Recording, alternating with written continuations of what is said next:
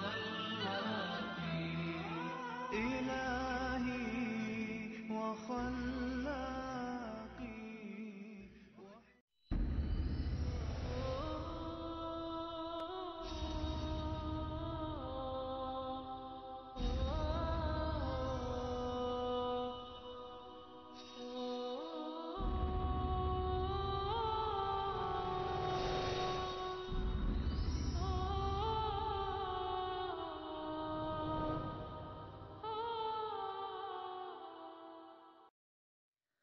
بسم الله الصلاة والسلام على من لا نبي بعده أما بعد أحييكم بتحية الإسلام السلام عليكم ورحمة الله ወበረካቱ ዛሬ እንግዲህ እህቶቼ የማደርገው አጭር ንግግር የሚሆነው በአክላቅ ላይ ይሆናል። አክላቅና እኛ ሴቶች ወይም ደግሞ አክላቅ ለኛ ምንድን ነው የሚለው ላይ ነው እንድንነጋገር የፈለኩት። አላህ ሱብሃነሁ ወተዓላ ምን ይላል? ፊ ሙሕከሚ ተንዚሊህ ወለቀድ ከረምና በኒ አደም ይላል። እኛ የሰው ልጆችን የተላቀ አደረግናቸው ወይም የበላይ አደረግናቸው ይላል። ይህንን ያለበት ምክንያት አላህ ሱብሃነሁ ወተዓላ ሌላ የተለየ ነገር ኖሮን አይደለም። እኛ አቅል ስለተሰጠን ነው። ለሰው ልጅ አቅል ተሰጥቶታል። መጥፎውን ከጥሩ መለየት እንዲችል ማለት ነው። መጥፎውን ከጥሩ መለየት እንዲችል ስላስቻለው ነው ማለት ነው። አቅሉን ተጠቅሞ የሰው ልጆችን የበላይ ያደረግናቸው የሚል አላህ ሱብሃነሁ ወተዓላ።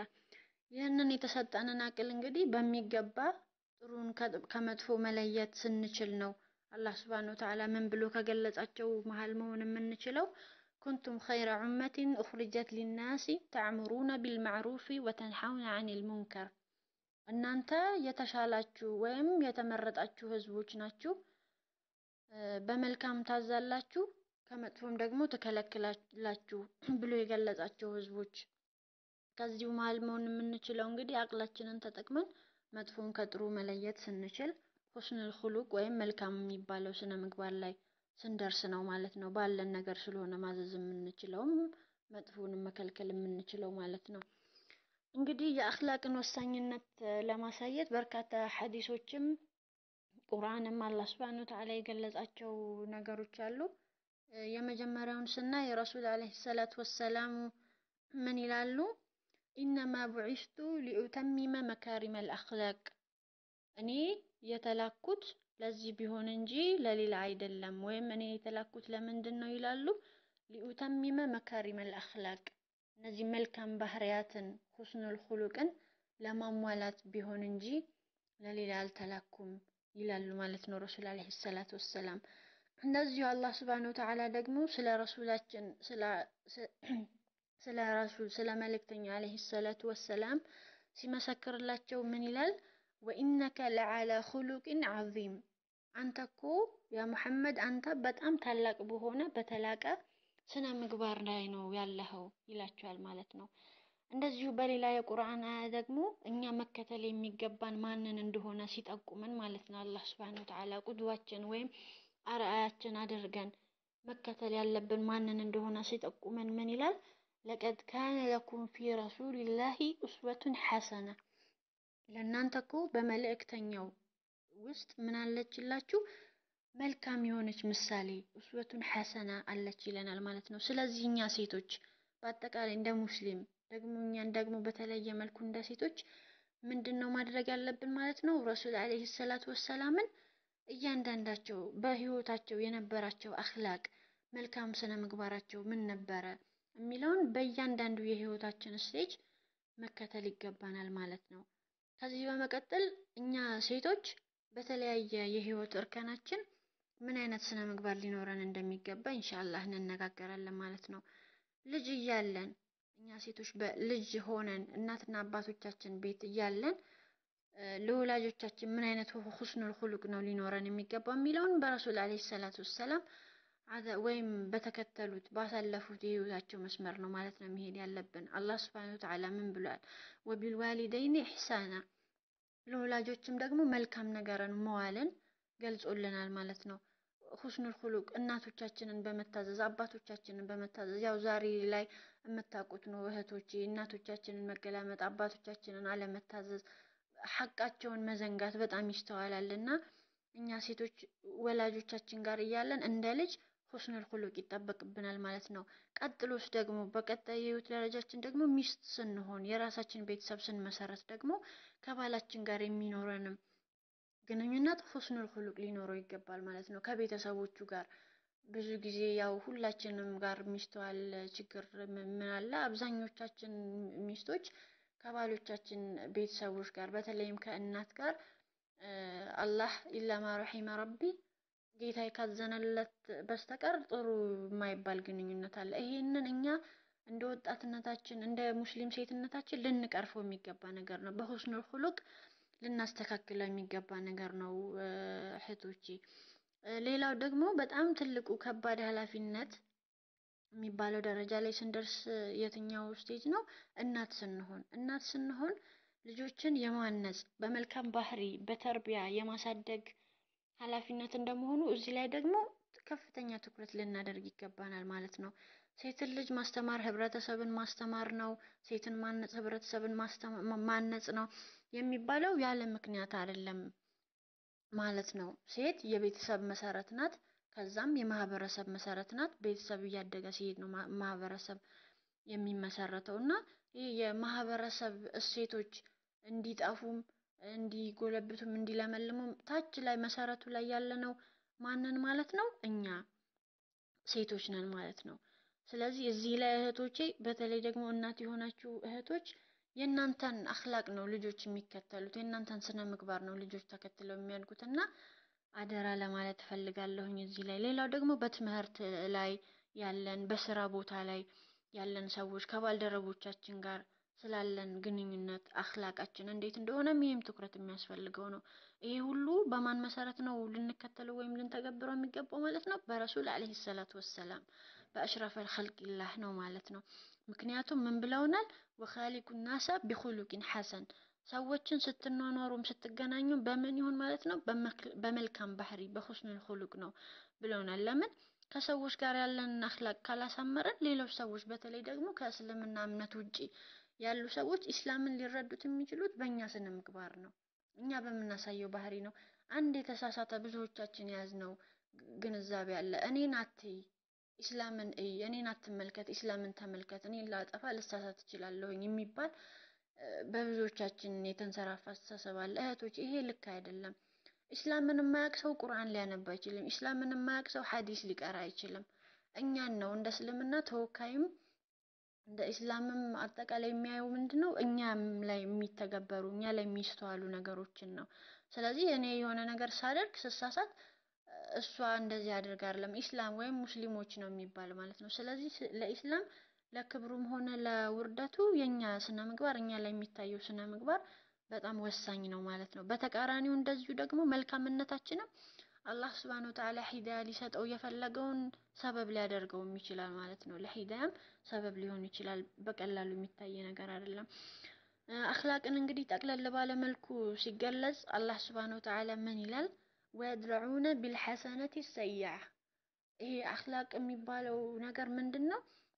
ሰይዓን መጥፎ ነገርን በመልካም የሚቀይሩ ናቸው። በመልካም የሚተኩት የሚቀይሩት ናቸው ይላል ማለት ነው። እህቴ አንቺ አንድ እህትሽ ብትበድልሽ ይቅርታ ብትያት፣ ብትከለክልሽ አንቺ ብትሰጫት፣ ፍቅርን ብትነፍግሽ አንቺ ፍቅር ብትሰጫት፣ እሷ ራሷ በድላሽ ደግሞ ነፍስያሽን አሸንፈሽ አንቺ ራስሽ አፉታን ብትጠይቂያት፣ እነዚህን ሁሉ ነገሮች ያካትታል ማለት ነው። አኽላቅ መልካም ፈገግ ብትይላት።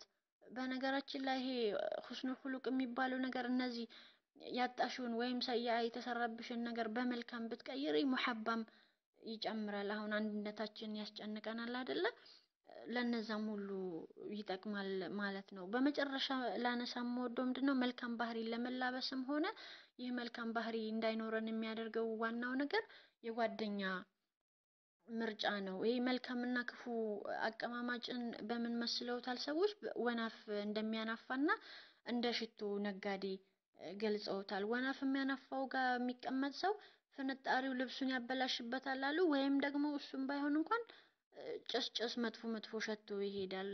ሽቶ ነጋዴው ጋር ደግሞ የተቀማመጠው ሰው ወይ ከሽታው ወይ ከሽቶ ያገኛል፣ ወይ ልትገዛ ትችላለህ፣ ወይ ሀዲያ ሊሰጥህ ይችላል። አለበለዚያ እንኳን ደግሞ መልካም መልካም ሸታ ትሄዳለህ ይላሉ። እንደዚሁም ሁስኑል ሁሉቃቸው ያማረ ሰዎች ጋር ብንቀማመጥ ወይ ከመልካም ባህሪያቸው እንጠቀማለን፣ ካልሆነም ደግሞ ከመልካም ባህሪያቸው እንወርሳለን ማለት ነው። እንደዚሁም መጥፎ ጓደኛ ወይም መጥፎ ስነ ምግባር ያላት ጓደኛ ካለችን ደግሞ ወይ በባህሪዋ ተጎጂ እንሆናለን፣ አለበለዚያ ደግሞ ያንን ባህሪዋን through time እየወረስ ነው እንሄዳለን ማለት ነው እህቶቼ።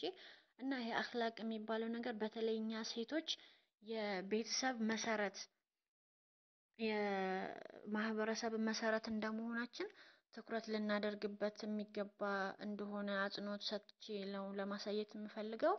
እዚህ ላይ አብቅቻለሁኝ። ጀዐለኒ አላሁ ወኢያኩም ሚነ አለዚነ የስተሚዑነ አልቀውለ ፈየተቢዑነ አሕሰነህ። ወሰላሙ ዓለይኩም ወረሕመቱላሂ ወበረካቱ።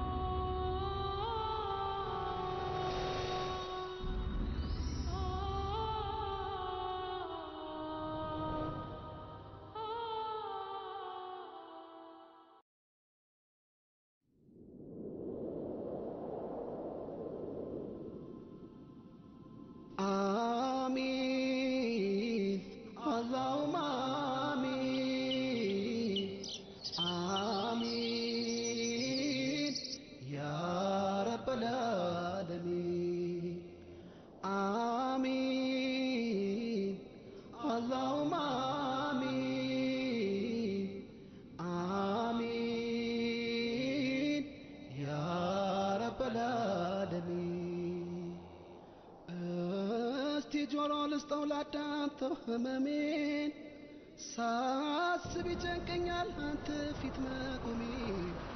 ሚዛን ላይ ማኖረው የለኝ መልካም ስራ ከጅላለሁኝ ያንተኑ መክፊራ። አወይ የኔ ስቃይ ዋ የኔ መከራ አንተን ሳምጥ ኖርኩኝ ቀልቤን ሳላጠራ። እዝነትን ከጃይ ምስኪን በዚያ سأسفرك آمين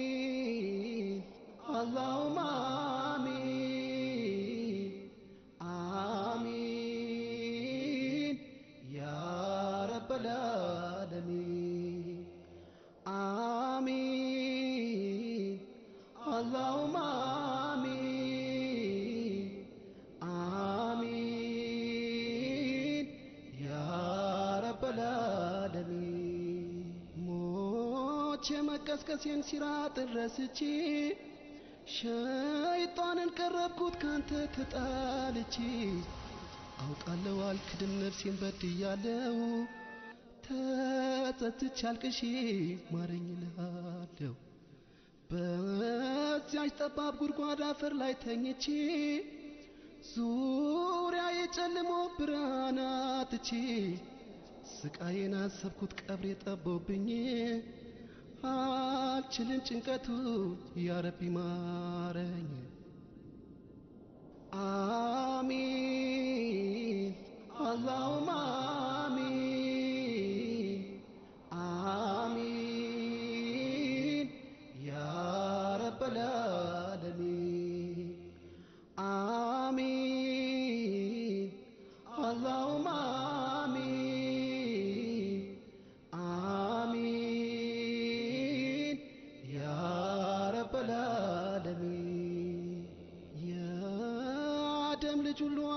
አፈሩን ደንግጦ ሲነሳ ሲቆም እርቃኑን።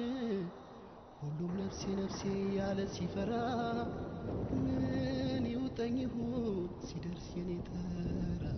ፀሐይ ስንዝር ቀርባ ካናቴ ላይ ላቤኔን አስጥሞኝ በዝቶብኝ ስቃይ።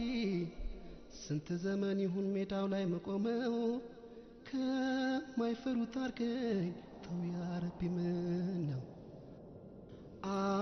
አሚን። አላሁማ